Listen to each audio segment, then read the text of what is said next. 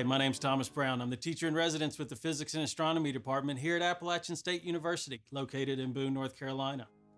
Over the last 26 years, I've taught physics along with other STEM courses at Watauga High, also located in Boone. And during that time, I've worked with 13 student teachers, a multitude of interns, and have helped lead numerous summer workshops for North Carolina teachers interested in developing their science pedagogical skills. Some of those former student teachers will be here today sharing their thoughts about the journey they took through the physics secondary education program at Appalachian. We'll also talk about what a rewarding and financially stable career this can be, both the national and international demand there is for STEM teachers overall. Appalachian State University is invested in doing everything possible in helping you become a physics secondary educator. Teaching is not something I always thought I wanted to do. I was all over the place with my decision to college. I thought I wanted to be a lawyer, went into international economics. I was like, yeah, this isn't right for me.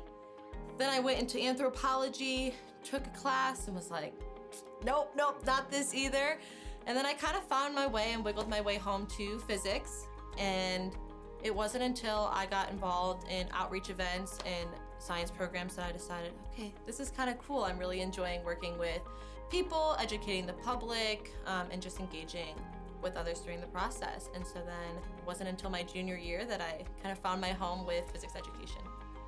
Being a physics secondary educator will provide opportunities that allow you to impact the lives of others as you watch them embrace the wonders of STEM knowledge. It will also help you grow as a person, foster positive relationships, provide yourself with financial stability, and allow more time away from work than you might in other fields.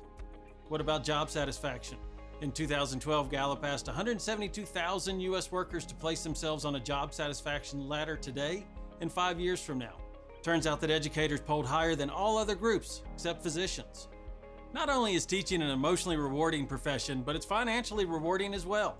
At the national level, mid-career teachers make somewhere between $60 and $130,000 per year, and this is for a 10-month contract, not a 12-month contract typical with other jobs. There's also high demand for STEM teachers to teach abroad in English-speaking schools. Students often think that this is referring to teaching English, but it's actually referring to STEM teaching jobs.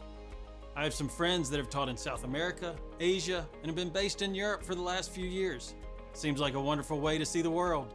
So you don't go into teaching thinking that you're going to have a gigantic salary. Um, you know that part of the reward is going to be the job itself, but as long as you know the standard of living for where you are and where you want to be, what you want to be able to do in life, the teacher salary is is substantial enough to do that. You also have summers and that sort of thing where you can um, have side jobs if you choose or if you need to make extra money to do something.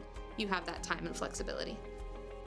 We hope we were able to answer some of the questions you had, and I was able to provide new information about the physics secondary education program here at Appalachian State University. If you have any further questions, please feel free to reach out to any of us at physics.appstate.edu.